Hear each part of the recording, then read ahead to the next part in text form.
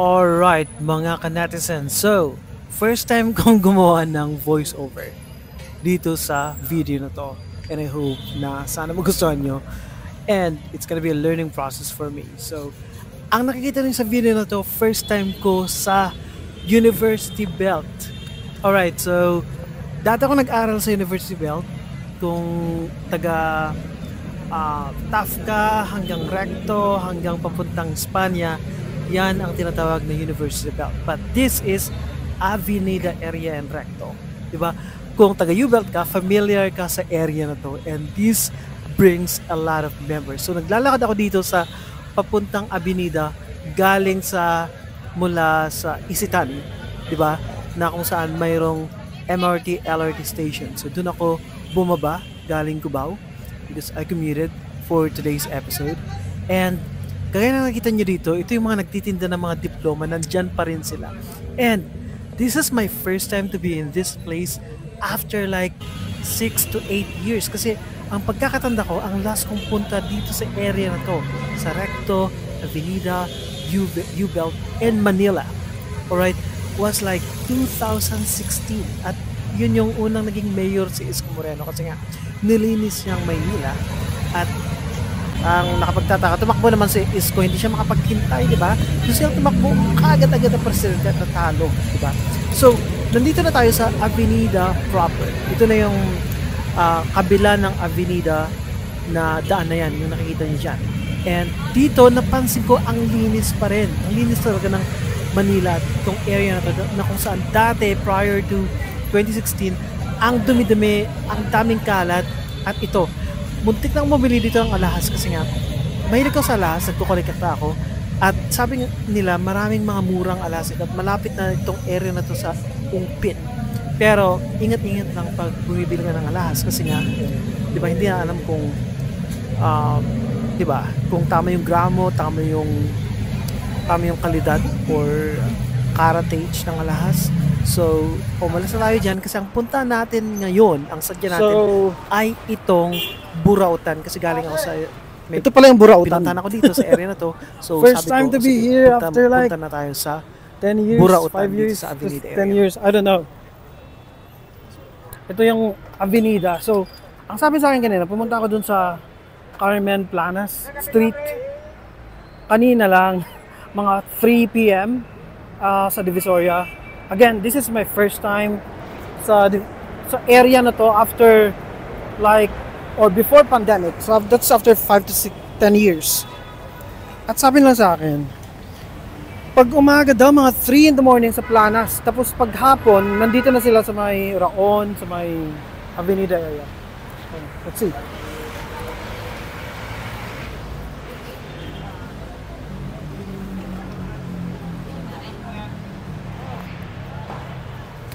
Fuck?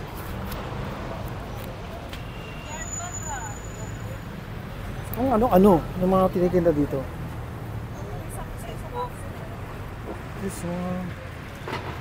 Oh, that looks cool.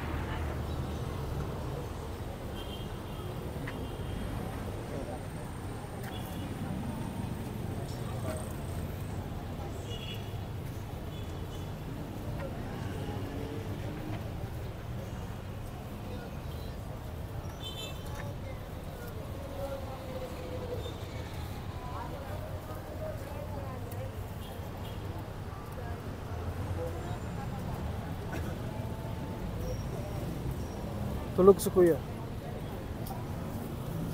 Wala kung ano-ano lang. Wala.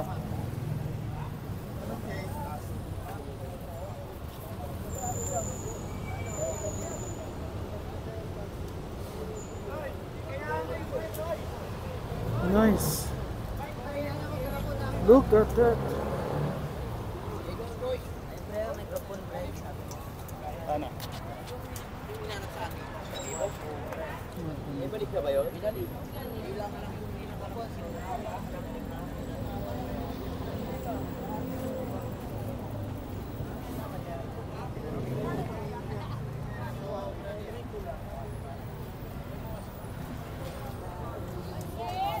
Oh God. Karga-karga kasi ako eh. So, Kayo, maganda yan kuya. Ano yan kuya? AirPods. May pa, double purpose, may power bank pa. Pag nalubat yung cellphone mo, pwede mo saksak dito yung cord mo. Ah, okay. Double purpose yan. Magkano? 350 lang. Pero bigay ko 300. Gano'ng katagal? 5 hours sa isang araw. Bago nalulubat. Mas mura to kaysa sa Divisoria. Ha? Gamit na to? Hindi pa, brand new yan. Ito nagagamit. Marami pa dyan, bigyan kita ng brand new. Hindi pa nabuksan. 350. 300. 300. sagad. Oh, 300 sagad na lang.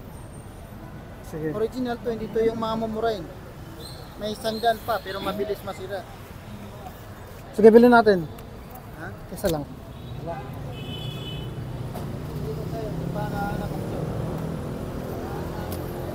Hindi ko na-test ha, pero gumagana yan kuya. Oh, ito lang yung search mo sa M1 na ano, ah. kuya. Ano pa? M100 ah. M100. Okay, sige, sige. Charger mo ito, sa likod niya. Sulupin nyo sa? Sulupin. Wala ko sulupin. Sige, okay lang, ilagay mo dyan. Ilagay. Dito, sa... Okay.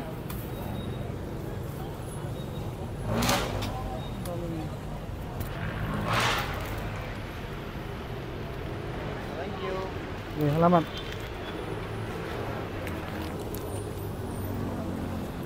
Use or...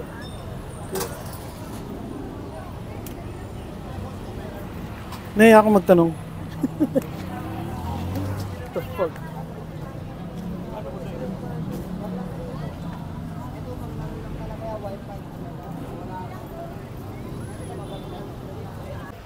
I was on time lapse earlier.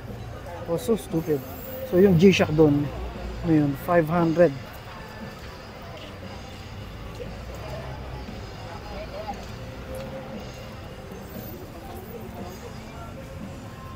Thousand. I'm gonna buy that.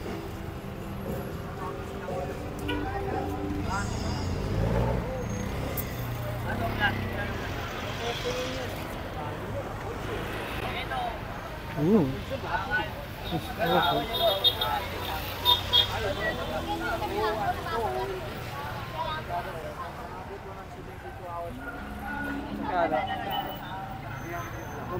Bango ano? Ba? Mahuli tayo ni kumagar nito.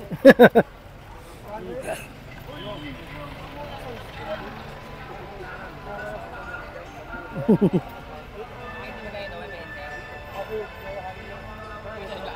So,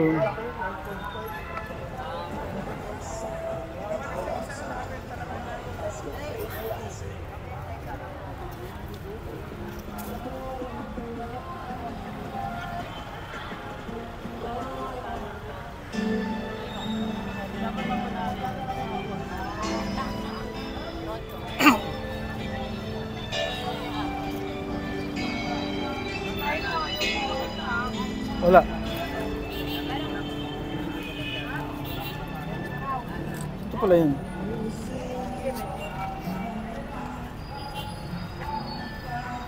Tempered glass.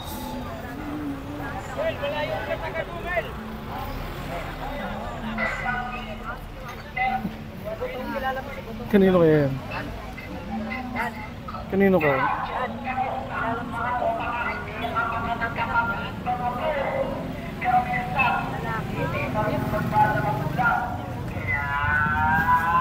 Unahin natin kahit sa mga magulang. Bago ang iba, alalahanin natin mga sakripisyon na gawa na inarin sa amin. Ganun na lang ba? Huwag kalimutan. Saan ko? Huwag maging mapagmataas sa ating mga magulang. Walang pagkulangan, respeto. May malasakit dapat tayo sa ating mga magulang. Obligasyon natin ako. Igalang natin ang ating mga magulang. Oh, may mobile. Sirit, lagyan mo sirit. Lubog nila.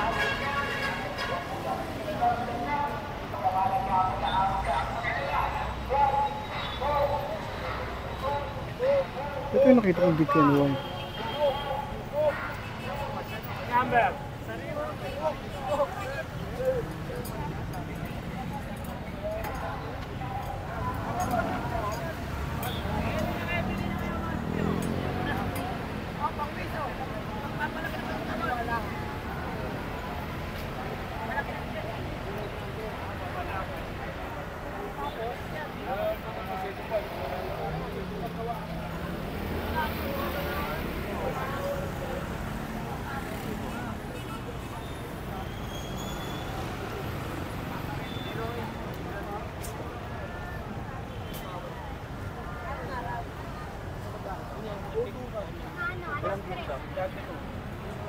128 meron tayo.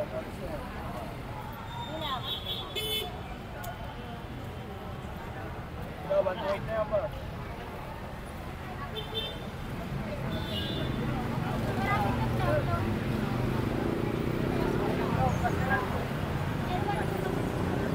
Dalawa yan, pili ka.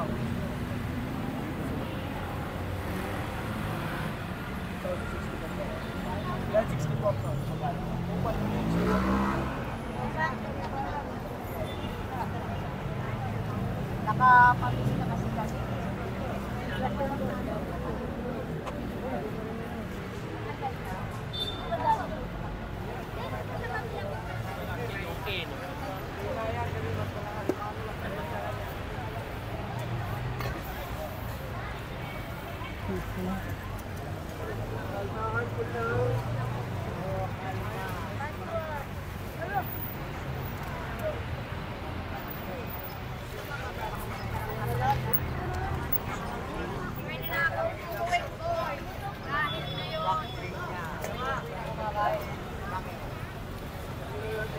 Anong gen to? Mini. Mini yan? Anong... Ah, ano pa? 64. Magkano siya? May kawas pa sir, may kasama na siyang charger. 2.5. Let's see. Wi-Fi to, cellular. Yes, wifi lang. Ah. Pixelated kasi.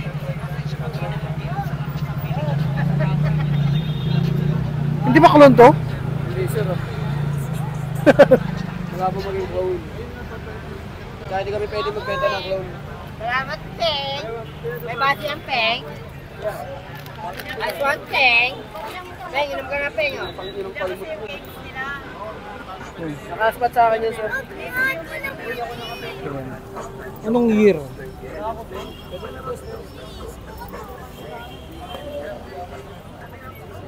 Ayan boss, 2.5 na lang yan. Oo nga, 64G. 2.5 lang. Boss po boy, iwas pa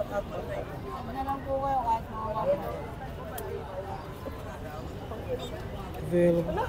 Para kasing pixelated eh. Pakilala talaga mi. Display. iPad Air 16. 6,000. 6,000 na lang yan, sagat. 32. Wala kayong mayroong lagay. Hindi eh. Meron, ito. 3,000, magkano? Nabili na yung Doon, marami po dyan. Kaya marami pa po dyan. 6 gen. Mini dapat. Salamat sa... Tingnan. Ay, sorry. Bakit pixelated? Yung it, itong mas anong anong year nun sa compare diyan? iPad mini ito lang po parehas yan. Ay, yung hawak mo? Oo. Mini 1 yun, mini 2 mo. At tuto. Oo, ito yan. Ito.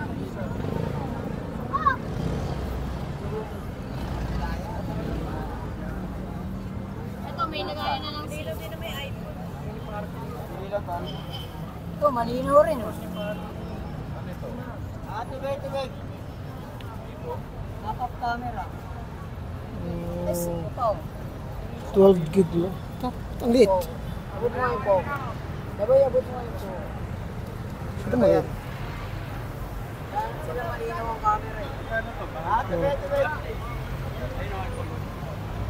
Sayang wala na yung 2.5 lang yung mini. Malinaw ito. Malinaw ba? Ito, oo. Oo. Ito, malinaw, oo. Oo. Oo, malinaw, oo. Ito, malinaw, oo. Oo, malinaw, oo. Oo. Dalawang libo na lang. Etong 605. 2,000 lang yung ano, Cellphone ko pinag- iPhone. Cellphone ko yan, tama? Cellphone ko to, binagsakan mo. 2K. Hindi nga yung papayag Ano? Ano ka? Testing mo nga sa kanya yung...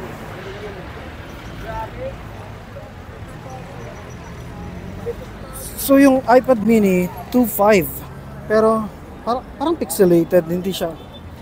Siguro First gen pala yung isa. Tapos second gen, di ko natanong siguro mga 3,500 yung difference. Bumili na pala ako dyan. Kanina.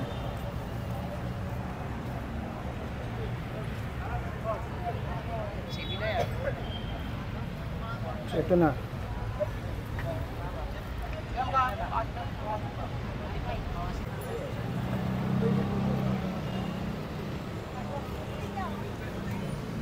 Puro mong cellphone then What the heck? Buti lang hindi ako gamer. Kami lang si toys. Bukas pa daw, meron. Stock. Bukas pa daw.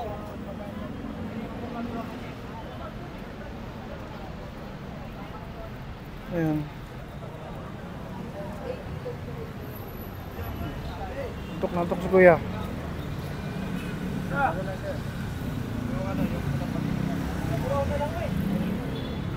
Burautan. Si. China. Oh, parang China nga yun.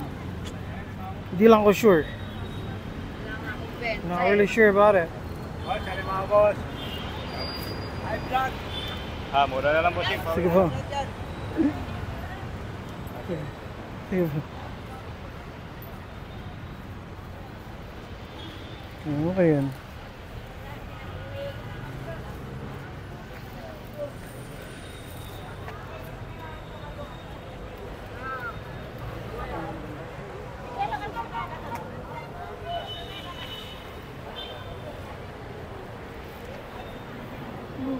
This.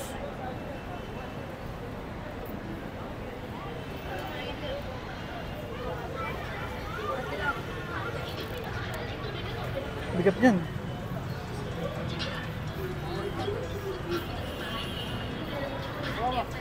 Last.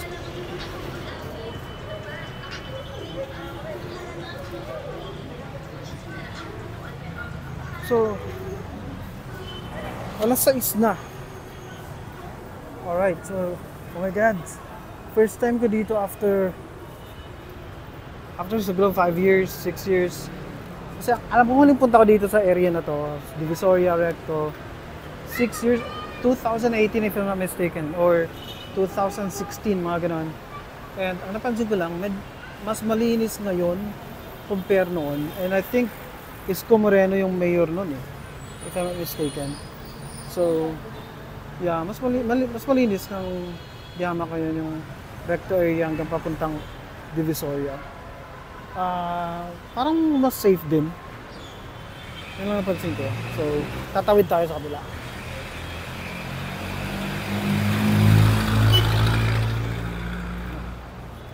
Let's cross the street.